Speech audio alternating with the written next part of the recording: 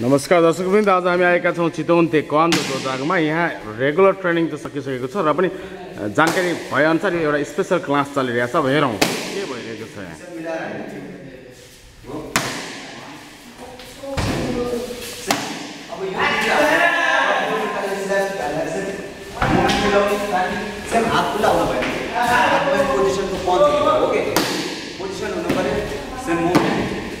के Very good. flap bir.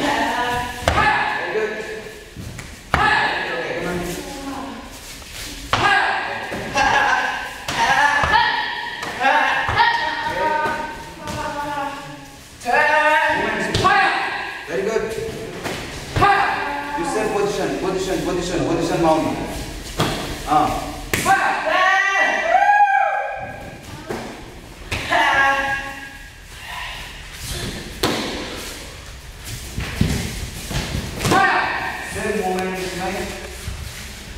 response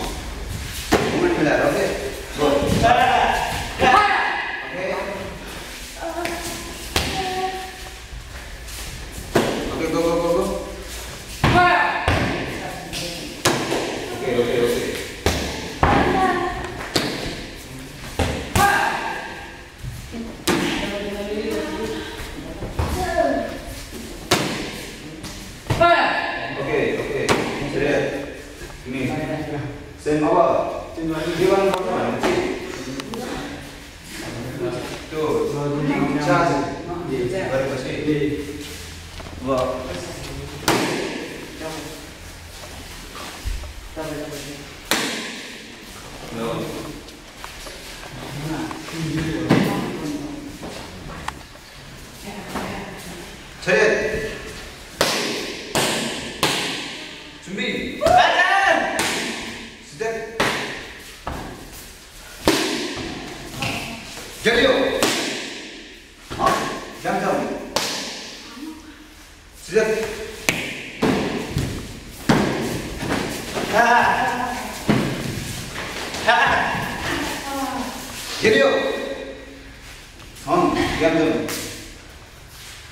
Percebe?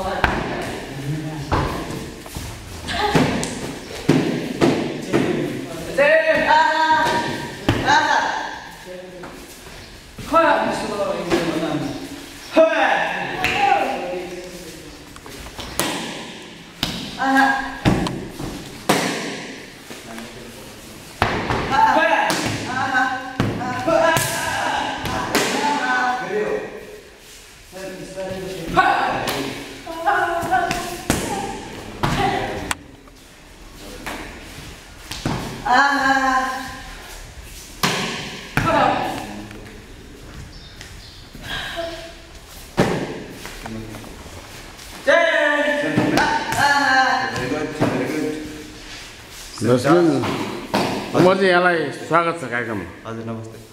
हामीसँग हुनुहुन्छ ट्रेनर उमर खानजी। हजुर। अब हामीले भर्खरै यहाँ जुन रेगुलर क्लासेस सकिएको जानकारी पायौँ र यो स्पेसल क्लास भइरहेको जानकारी पायौँ अब यो स्पेसल क्लास भन्नाले के सम्बन्धित रहेर चाहिँ स्पेसल क्लास भइरहेछ अहिले? यो ताइक्वान्डो हो जुन कोरियाबाट जन्मेको हो। स्टार्टिङ कोरियाबाट भएको र अहिले हामी च्याम्पियनसिपको लागि नै तयारी गर्दैछौँ। र यो च्याम्पियनसिपको नेम चाहिँ हामी दिल्लीमा हुन लागेको इन्दोर स्टेडियममा हुन लागेको एउटा च्याम्पियनसिप हो। त्यसको लागि हामी तयारी गर्दैछौँ। अस्ति नै पनि हाम्रो खेलाडीहरूले प्रतिस्पर्धा गरेका थिए। र हामी सातजना जाँदाखेरि त्यसमा चारवटा स्वर्ण पदक पनि जस हाम्रो टिमले लिएर आउन सफल भएको थियो। भने कहिले क क- कहिलेको भन्नुभयो जस्तै वान विक अगाडि कि एक। महिना जतिको? टु विक टु विक हो। ल ठिक छ। यो त्यो सफलताले चाहिँ अब आगामी प्रोजेक्टको विषयमा चाहिँ अझै बढी सफलता पाउनको लागि यो खालको ट्रेनिङ गरिराख्नु भएको छ। हजुर। अब अहिले चाहिँ कतिजनाको टोली जाँदै हुनुहुन्छ? अहिले लिएर जान लागेको हामीले पन्ध्रजनाको टोली हो। पन्ध्रजना। जस अस्ति नै भन्दा अहिले अस्ति नै सातजना थियो अहिले पन्ध्रजना जस बढिरहन्। यो पटक कस्तो आशा राख्नु भएको छ? यो पटक जस अब हामीले चार टाइमको ट्रेनिङ चाहिँ गरिरहेछौँ। किनकि यसपालि अब हामीलाई पहिला हाम्रो हामी जाँदाखेरि दिल्लीमा हाम्रो टिम सेकेन्ड भएको थियो। अब चाहिँ हामी पुरा टिमलाई फर्स्टै बनाउने भन्ने सोचमा छौँ। ठिकै छ। अब कस्तो छ जस्तै ट्रेनिङमा चाहिँ तपाईँको म्या म्याक्सिमम् ट्रेनिङ गरेर वेटहरू घटाउने काम मात्र भइरहेछ कि? या के छ जस्तै यसरी खेलाडीहरूलाई चाहिँ तपाईँले भनिरहनु पर्दाखेरि वेट घटाउने क्रममा चाहिँ आफ्नो स्वास्थ्य झन् कमजोर बन्छ कि? या त्यस्तो खास केही फरक पर्दैन? त्यस्तो खासै केही फरक पर्दैन। अब वेट खेलाडीहरूको कस्तो हुन्छ भनेपछि खेलाडीले एकैछिनमा त्यो वेटलाई मेन्टेन गर्न सक्छ कि? जस्तो वेट घटायो त्यसपछि गएर विङ गऱ्यो त्यसपछि आएर जति भए पनि कि। त्यो टेन्सन छैन। ए भन्नाले जस्तै वेट घटाउने नाममा चाहिँ एकदम आफ्नो स्वास्थ्यलाई चाहिँ दीर्घकालीन असर गर्ने खालको काम चाहिँ खेलाडीले गरिरहेको हुन्छ खा भन्ने खालको एउटा त्यसपछि त्यसलाई भ्रमको रूपमा लिनुहुन्छ। हजुर। वास्तविकता त्यो हुँदैन। हजुर। केही टाइममा चाहिँ घटाइ वेट घटाइहाल्न सकिन्छ त्यो घटाएर म्यानेज गर्ने अनि पछि फेरि कन्टिन्यू आफ्नो रेगुलर वेटमा आउन सकिन्छ त्यसो भए। ठिक छ यहाँलाई केही जानकारी दिनुभयो। अब केही भन्न मन लागिरहेछ कि? थ्याङ्क यू सो यो हेरेर जुन आफ्नो खेलाडीहरू जो पन्ध्रजना जाँदै हुनुहुन्छ भन्नुभयो उहाँहरूलाई पनि यो जुन च्यानल हेरिराख्नु भएको छ उहाँहरूलाई पनि एक किसिमको तपाईँले सुझाव दिन सक्नुहुन्छ। हस्। के भन्न चाहनुहुन्छ होइन? भन्नुहोस् न त जस्तै लाइक यो टेलिभिजनबाट जो पन्ध्रजना भन्नुभयो नि अब यहाँ कतिपय आज उपस्थित हुनुहुन्न। हुनुभएकाहरू त तपाईँले ट्रेनिङ दिइराख्नु भएको छ। नहुनुभएकालाई चाहिँ ट्रेनिङ किन जरुरी छ अनि के के चाहिँ पूर्व तयारी गर्नुपर्छ? जुन तपाईँले प्रत्यक्ष भेटमा भन्न न नसक्नु भएको कुराहरू यसरी यो च्यानलमा पनि भनिदिनु न। पहिला त म आएको अनलाइन टिभीलाई धेरै धेरै धन्यवाद दिन चाहन्छु। हाम्रो इतिहास बोकेको चितवन ताइक्वान्डो डोजाङमा आएर हाम्रो जस इन्टरभ्यूहरू यताउता लिनुभएकोमा। र तपाईँले भन्नुभयो त्यो पन्ध्रजना खेलाडी उनीहरूको पनि एउटा टाइमिङ छ। त्यस्तो अब कसैको कलेज कसैको स्कुल हुनाको कारणले पनि. यताउता हुनसक्छ त्यही भएर हामीले उनीहरूको ट्रेनिङलाई चाहिँ हामीले नाइटमा नाइटतिर सारेको छौँ कि? ए त्यो अझ त्यो स्पेसल ट्रेनिङ अझ नाइटमा पनि हुने गर्छ। यो चाहिँ एउटा एउटा चाहिँ तपाईँको यो चाहिँ अहिले जसको समय छ उहाँ समय हुनेहरूलाई चाहिँ तपाईँले समय हुनेहरू पनि र त्यस कारण आज स्याटरडे शनिबारको कारण बिदा पनि छ। बिदाको दिनमा किन यिनीहरूलाई फ्री छोड्ने भनेर पनि ट्रेनिङमै ए जो। यसमा यहाँ जति हुनुभएका जस रेगुलर क्लासमा आउने पनि हुनुहुन्छ हजुर कन्टिन्यू छ। अनि अरू? अब त्यही हो। अब थ्याङ्क यू सो मच फेरि धन्यवाद हामी दिन चाहन्छौँ। अन्त्यमा जाँदा जाँदै यो खेल चाहिँ मानिसको जीवनमा खेल किन जरुरी जस्तो लाग्छ तपाईँलाई? जरुरी त धेरै जरुरी छ अब निर्मला पन्तको काण्डहरू पनि त्यस्तै त्यस्तै अनि पुरुषको लागि भन्दा नि महिलाको लागि अझ बढी अझ बढी धेरै राम्रो हो हजुर। सेल्फ डिफेन्सको लागि पनि धेरै राम्रो।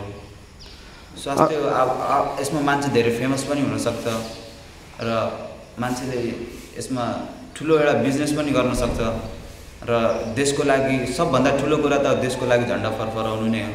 धेरै यसमा धेरै कुराहरू छ यसमा। जस खेलको माध्यमबाट हामीलाई धेरै फाइदा पनि हुन्छ। भनेपछि यो अब तपाईँ एउटा उम्, क्षेत्रको यो खेल क्षेत्रको चाहिँ तपाईँ एउटा ट्रेनर पनि हुनुहुन्छ प्लस आफू लागि परिरहनु परिराख्नु भएको छ एउटा राम्रो खेलाडी पनि हुनुहुन्छ। अब यो अरू खेलभन्दा यो तेक्वान्दो नै बेस्ट हो भनेर चाहिँ तपाईँ कुन तर्क राख्न चाहनुहुन्छ आफ्नो तर्क? अब ताइक्वान्डो भनेको नै एउटा रमाइलो हो कि? रमाइलो चिजहरू पनि हुन्छ यसमा र हामीले यसले हातले यताउता गर्न सकिँदैन। हामीले जहिले पनि हान्दाखेरि ब्यालेन्स मिलाएर किक हान्ने हामी जस्तो प्याड यो प्याड हुन्छ यसमा हामीले हान्दाखेरि यसमा टु पोइन्ट आउँछ। सेम हेड हो। यसमा हान्दाखेरि हामीले थ्री पोइन्ट आउँछ। सेम टर्निङ किक हान्यो भने हामीलाई चार पोइन्ट पाउँछ। जस यो ताइक्वान्डो भन्ने खेलमा खेलाडीहरू धेरै घाइते चाहिँ हुँदैनन्। धेरै सेफ्टी छ र जसले ताइक्वान्डो निकाल्यो हामी त्यसलाई धेरै मनदेखि नै धन्यवाद दिन चाहन्छौँ। भनेपछि तपाईँको भनाइ के हो भने आफ्नो जो आफ्नो आत्मरक्षाको लागि या आफ्नो शरीरको रक्षाको लागि पनि बेस्ट छ यो र आफूलाई पर्सनल रूपमा चाहिँ कुनै बिरामी हुने घाइते हुने या बढी चोटपटक लाने सम्भावना अरू खेलमा भन्दा यसो कम हुन्छ भन्ने चाहनुहुन्छ? ए, त्यसरी पनि यो इम्पोर्टेन्ट छ। हस् एउटा अमूल्य सल्लाह सुझाव दिनुभयो त्यसको लागि यो जुन अब हेरिराख्नु अडियन्सलाई पनि एक किसिमको राम्रो खालको एउटा इन्फर्मेसन भयो त्यसको लागि थ्याङ्क यू हस् धन्यवाद।